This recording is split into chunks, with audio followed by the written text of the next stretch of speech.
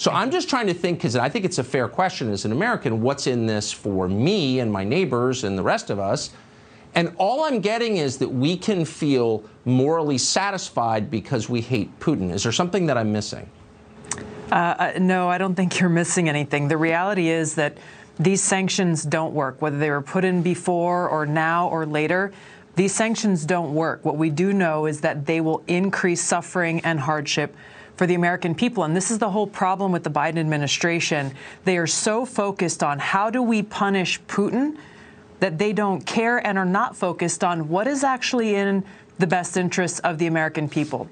So when Biden stands there and, and, looks directly into the camera and says, you know, defending freedom will cost us, what he really should be saying is looking directly into the American people's eyes and saying, this will cost you because these sanctions are not going to cost him or Kamala Harris or the power elite in this right. country, even the power elite in Russia. It is the people who will suffer, the, the, American people, the Russian people, people here at home working hard every single day, facing those drastically increasing prices at the gas pump, facing increasing costs at the supermarket, impacting our supply chain. The hardships that people are dealing with every day now with Biden's sanctions plan we're only going to see that continuing to get worse. And it doesn't end there, Tucker. This is the problem is you think Russia's not going to respond, you think Putin's not going to respond, he will respond. Exactly. And it's likely he'll retaliate using cyber attacks on our financial systems, our communication systems, uh, on our basic infrastructure. Biden will then be forced to respond. Putin will then be forced to respond. So we end up in this endless tit for tat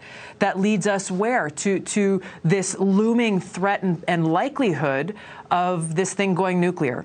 And he, again, this is the reality that we all need to understand is true is that whether it's, it is intentional or unintentional, when you have two great nuclear armed countries at this point of escalation, and then if there is a nuclear attack, the power elite, these people are going to go hide in their bunkers. They'll, they'll have their shelter. They'll have their food and water and everything that they need. You and I and the American people, we will be left out to deal with the consequences, to suffer and deal with that destruction and death that will come as a result. And yet we're doing this for principle. The people in charge who don't care at all about our founding documents, who violate their spirit and letter every day, are telling us that an essential American principle is at stake. Do you have any idea what that principle might be?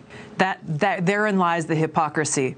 Tucker, is they're saying we are doing this in the defense of freedom, in the defense of democracy, but these are the very same people who are working to undermine our own freedoms and our own democracy right here at home. I have a hard time seeing how they actually say these things with a straight face to the American people when they clearly don't care about these principles right here at home. They don't care about defending them. They don't care about the well being of the American people.